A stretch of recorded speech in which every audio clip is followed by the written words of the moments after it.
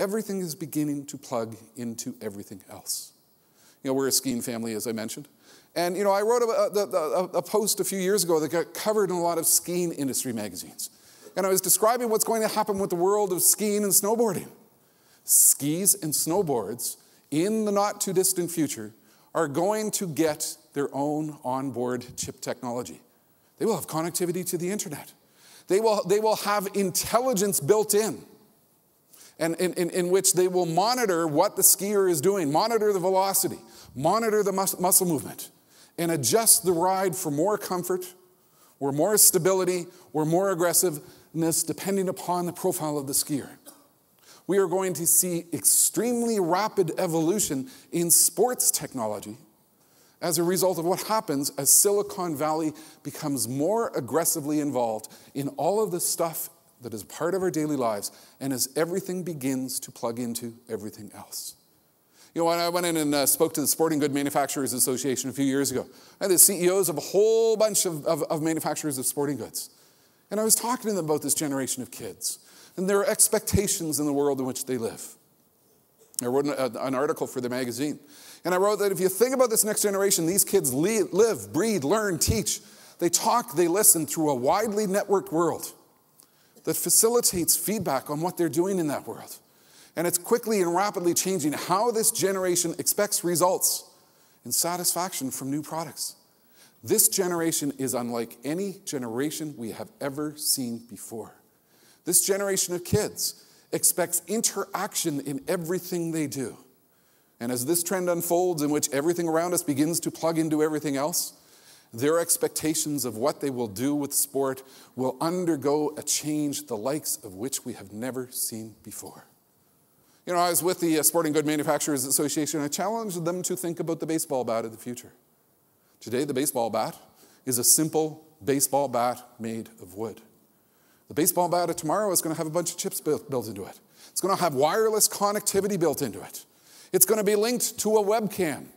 So when the kid's playing at the game, it's automatically recording his uh, swing speed, his swing style. It's automatically filming him so he can immediately upload the video to his friends because they are immersed in this, in this world of interactive technology like we've never seen before.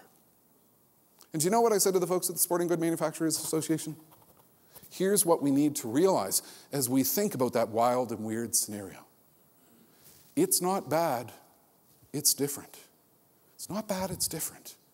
You know, our world is going to change. These kids are different. Their expectations are different. We look at them with our perspective of, of the way that things should be. And some of us might react to it negatively, thinking, well, you know, this is just too far out of hand. This is just too ridiculous. But it's not bad, it's different. And I want you to think about what's going to happen in your world. You know, I, I, think it's not too far out before we have some type of golf ball that has a webcam built into it so that I, as the average golfer, you know, immediately get this interactive view as my ball flies down the course. And I can immediately share it with my friends, and it immediately becomes a part of the game and immediately becomes a part of my historical record. Who are we to sit back and think that the technology and the interactivity that is going to be a part of the game will look anything like it does today? Particularly as this next generation gets involved and gets immersed and increasingly begins to shape the direction of the future. Do you know what happens as soon as I put a scenario up like this? The same thing that happens when I put a scenario up like this in front of a lot of my clients. So a whole bunch of us sit out in the room and we react. That's the dumbest thing I ever heard. That's the dumbest idea I ever heard. Who invited this guy here? Who thought it would be a good idea to put such wild scenarios on the table in front of folks who are involved with a traditional game? I want you to think about this. I want you to you know, think about the future by looking a little bit to the past. Some of you might remember when the golf cart first appeared on scene, it was viewed as something that was going to ruin the game. You know, way back in 1997, the Christian Science Monitor, you know, you can read articles that purists, you know, are decrying the most noticeable post-war technological change in golf. The hordes of tech golf carts that are humming over courses. It's ruining the game. The former United States Golf Association president observed that, you know, if it keeps up, we should call the game cart ball.